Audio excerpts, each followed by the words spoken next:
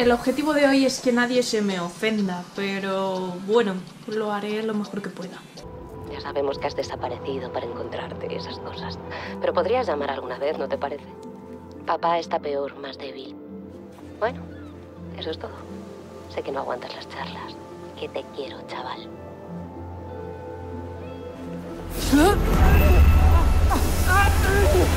El viernes día 3 de agosto se estrena en España Solo, dirigida por Hugo Stuben, un director conocido por la película Anomalous, y nos trae la adaptación de esta historia real que, bueno, que tiene sus cosas y ahora os las voy a contar. Protagonizada por Alain Hernández y Aura Garrido, dos actores que, bueno, contando con esta, últimamente pues como que no tienen mucha suerte, sobre todo Aura está haciendo unas películas en las que, bueno, no ha tenido muy buen ojo, pero no pasa nada.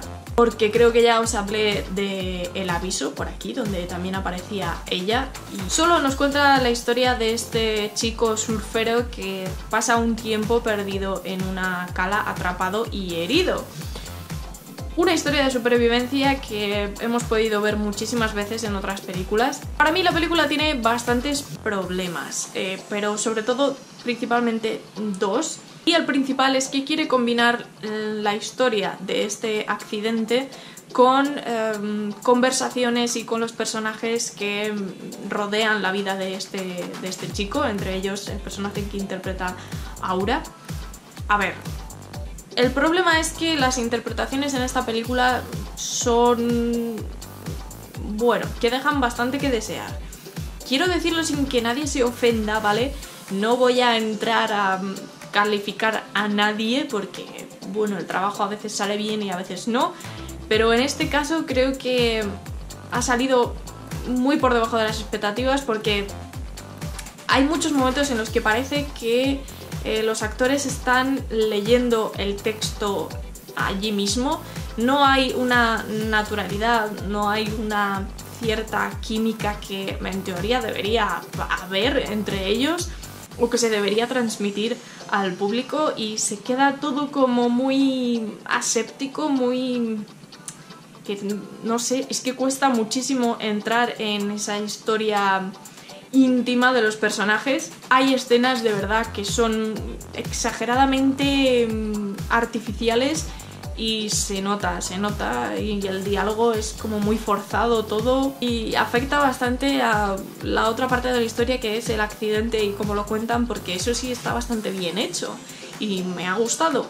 ¿Qué pasa? Que cuando cambiamos a ese otro lado de su historia o de lo que quieren reflejar, se viene todo abajo porque no funciona o no, no sé, no sé si la dirección ha estado muy acertada esta vez, pero contando con actores como Alain, que, sabemos que son buenos, porque ha quedado muy claro, y con Aura Garrido, que, que también tiene una expresividad bastante notable, que salga algo así quiere decir que haya habido algún tipo de problema, ¿vale? Como os digo, eh, todas las escenas de acción donde muestran eh, lo que le ocurrió a este chico pues está muy bien hecho, pero sí que tengo que decir que para una película que dura casi dos horas, la historia de este chico, y no quiero que se me ofenda si ve el vídeo, de verdad que no quiero que, que se ofenda, pero no me parece una historia para reflejar en una película de casi dos horas. Hace muy poquito hemos podido ver la película La Deriva, que también tenéis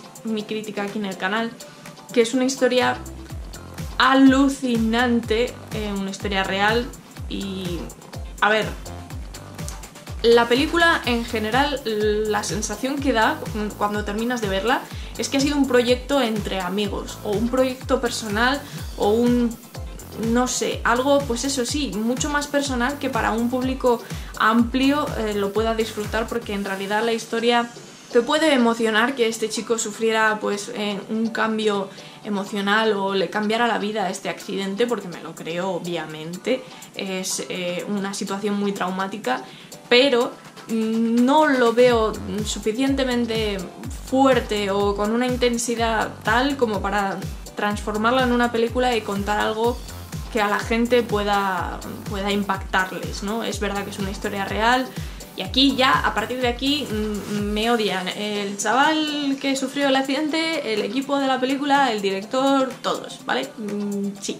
Yo lo siento, no me gusta hablar mal de las películas y tampoco me gusta hablar mal de las películas españolas, pero es que en este caso no, no, me ha gustado, creo que no funciona, que se queda flojita, que las interpretaciones en muchos de los momentos de la película son pues eso, muy artificiales, muy forzadas no es natural, nada natural. Yo no sé si habrán considerado en algún momento añadirle algún toque de ficción, que no sé, podría haberle hecho una película un poco más interesante o con algún giro, no lo sé.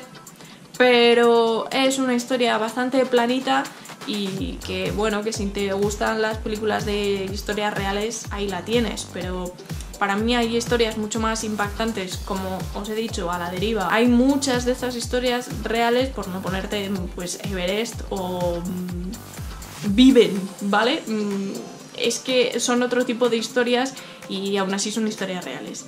Entonces, ¿las comparaciones son odiosas? Mm, sí, pero es que esta película de solo se me queda muy plana, no tiene giros, no tiene nada que me sorprenda y, tampoco me emociona ni me llega.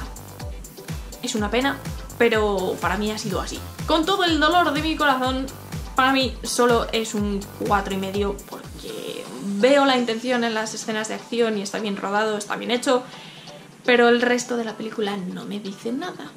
Si vais a verla, me encantaría saber qué pensáis de ella aquí abajo en los comentarios y nada, nos vamos a ver dentro de muy poquito.